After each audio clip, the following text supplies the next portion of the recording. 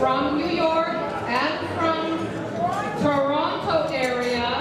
our feature orchestra, musicante, wonderful youth,